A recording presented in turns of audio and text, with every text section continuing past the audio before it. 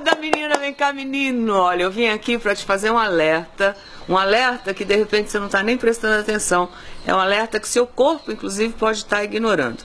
Você teve ou conhece alguém que já teve, olha, formigamento, dormência nos pés, nas mãos, ou tiques, espasmos. Conhece? Não?